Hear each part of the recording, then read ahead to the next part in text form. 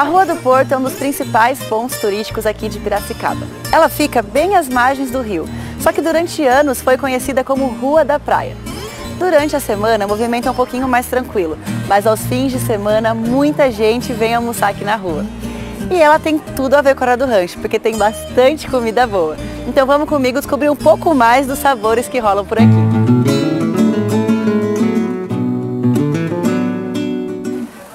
Olá, tudo bem? Bom Como dia. que o senhor chama? Luiz. Luiz. Me conta um pouquinho mais desses peixes maravilhosos. Peixes assados que mais são consumidos aqui. O lombo de filhote, tem o lombo de pintado também, tem o salmão. E qual que é o segredo dos preparos do peixe por aqui? O segredo, o peixe você coloca ele na grelha congelado. Aí você vai só com um pouco de sal. orégano, chimichurri, limão, vinagre. Ah, ele também vai em tempero de galinha, tempero de carne. Isso aqui é um tempero à base de sete ervas, no caso que a gente tem, que a gente mesmo faz aqui. São 32 ervas que vai no nosso tempero. Qual que é esse peixe aqui? Esse daqui é o tambaqui amazonense, no caso. Se quiser experimentar um pedacinho do tambaqui, ó. Pegar. Tá bom?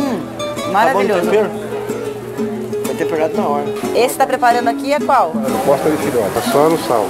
Deixa eu ver aqui um pedacinho. Hum. Bem gostoso. Esse é qual? Esse é o lombo de filhote. Vamos lá. Olha esse pedacinho, que delícia.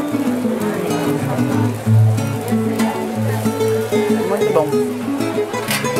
Esse é o tempero de ervas então da Esse casa. é o tempero de ervas. Tem 50 anos esse, esse tempero, essa receita aí. Deixa eu pegar aqui um pedacinho. Desmancha, né? Não precisa nem de faca. Muito gostoso, muito saboroso. E ó, como vocês podem ver, aqui o movimento é insano durante o final de semana. Então eu já vim pra cá antes conhecer a dona do restaurante e preparar outra receita super especial. Eu tô aqui na cozinha do restaurante mais antigo da Rua do Porto. A dona Laide cozinha há 64 anos nesse lugar. E olha, falam que o cuscuz dela é o melhor. Por isso que a gente veio aprender, né, dona Laide? Muito obrigada por receber a gente. E conta um pouquinho mais desse prato. Como que é esse cuscuz? Então, esse cuscuz aqui é uma. Se for ver, é uma comida muito simples, mas é difícil de fazer. Não fala isso que o pessoal vai ficar assustado Não, já, dona difícil Laide. de fazer porque você tem que usar tudo natural. E é verdade que a senhora vende mais de mil desse cuscuz todo fim de semana? Vendo. Mais de mil. É muita coisa, é muito cuscuz. E aqui a cozinha está funcionando normalmente, então já vamos começar para não perder tempo. Qual que é o primeiro passo? Então, o primeiro passo é colocar o molho na panela, molho de tomate natural, coloca a cebola. Tomate picadinho. Eu vou colocar o óleo. Então a gente está temperando o molho para a base do cuscuz, é isso? Isso. Sal, pimenta a gosto. Agora deixa ferver. Como é que surgiu o restaurante?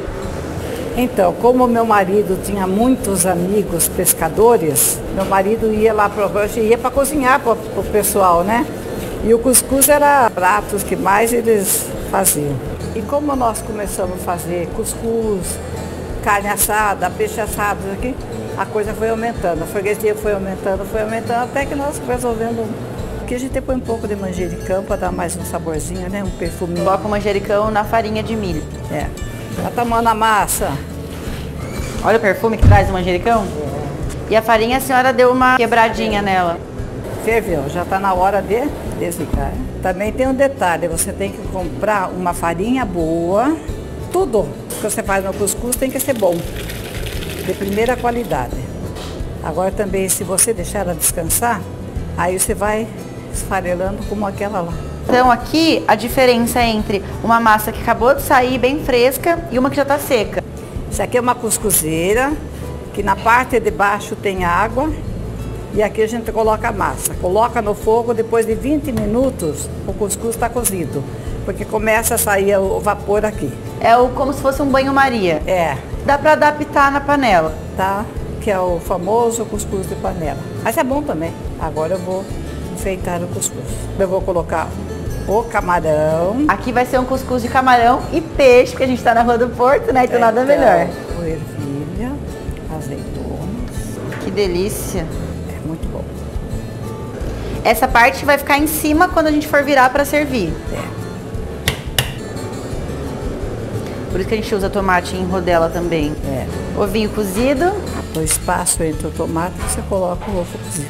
Normalmente aqui no restaurante você fala que esse tamanho aqui é para quantas pessoas? Se eu fizer médio, que é bem cheinho, para três pessoas. Esse peixe que a senhora está usando é qual? Merluza. Tá só cozido na água. Isso. Uma curiosidade é que os peixes servidos aqui vêm de outras cidades, de outros locais. Aqui do Rio Piracicaba não vem peixe para o restaurante. E você já está montado. Então agora é tampar e fogo. E fogo. Quando a gente tira na hora e já serve, então se amassa bem aqui para ele firmar. não, é, para não desmoronar. Ó, tchum. Tá, tá, tá, tá. Olha só que lindo! Claro que eu precisava vir aqui fora, na beira do rio, para provar esse banquete maravilhoso, porque tá aqui o charme todo, né? Além da comida boa, o ambiente, é tudo muito gostoso por aqui.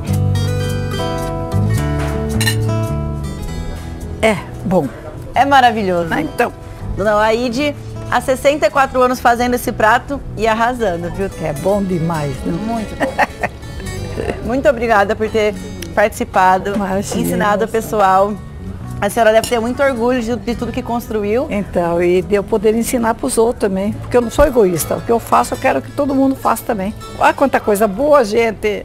Não percam. Tem pra todo mundo. Tem para todo mundo. Então é isso, gente. Semana que vem eu tô de volta com mais uma receita especial. Vamos dar tchau pro pessoal? Bom, Tchau. gente. Tchau.